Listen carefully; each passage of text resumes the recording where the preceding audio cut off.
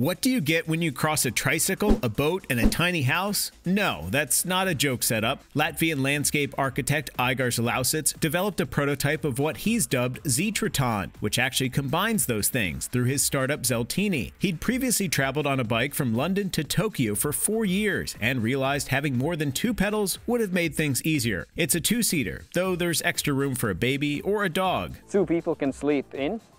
Uh, but it's, it's equipped with kitchen and, and all sorts of gears, uh, fan and, and, and lights and, and everything. You can charge your devices, you can comfortably sleep in it. Z-Triton has a pair of 250 watt battery hubs along with solar panels and an electric boat engine. Fully charged, it can go for nearly 25 miles on land and around 10 kilometers by water. So pretty much it allows you to go continuously over land and water and it just gives you a sort of unique experience because uh, there's no other such thing and, and obviously you can really be immersed in nature. He's working on making the hybrid vehicle more environmentally friendly, including 3D printing most parts for it and making the body out of hemp fiberglass.